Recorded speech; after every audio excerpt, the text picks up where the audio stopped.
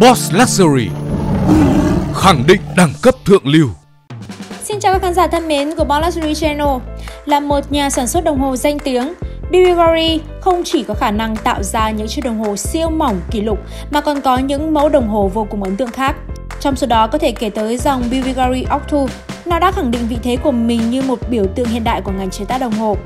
Ngay bây giờ chúng ta hãy cùng đến với mẫu đồng hồ tới từ thương hiệu Ý này nhé. Với Octo Roman Naturalia, chiếc đồng hồ kỳ công nhất của Bulgari và ứng dụng Mastria, thương hiệu kim hoàn hàng đầu nước Ý đã mở ra một chân trời mới trong thế giới đồng hồ cao cấp, cho phép khách hàng tạo ra các vật phẩm mang đậm dấu ấn độc đáo của chủ nhân thể hiện vẻ đẹp của các loại đá quý tự nhiên với từng nhịp đập đều gợi lên sự mạnh mẽ và bí ẩn của thế giới.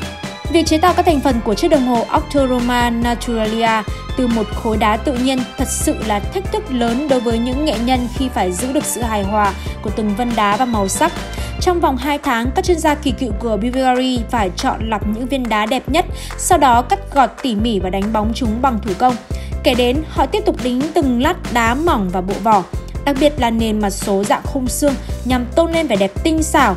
đến từ bộ máy Tourbillon mang đậm đặc trưng của Bulgari. Bên cạnh sáng tạo mới, ứng dụng Matria của Bulgari cũng giao điểm giữa sự đổi mới của thế kỷ 21 cùng chuyên môn lâu đời. Ngành chế tác đồng hồ vốn đã rất chú trọng đến xu hướng cá nhân hóa và giờ đây, sự ra đời của Matria, điều này đã được thực hiện theo một phương thức hiện đại hơn.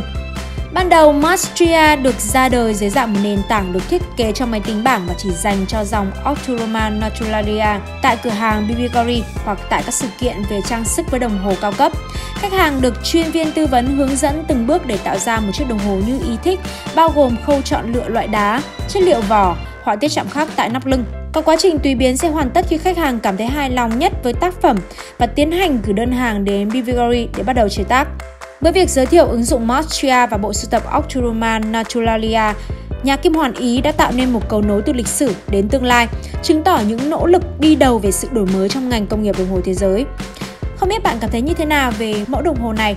Hãy để lại ý kiến của mình ở phía bên dưới và đừng quên like video cũng như subscribe Boss Channel. Còn bây giờ thì xin chào và hẹn gặp lại!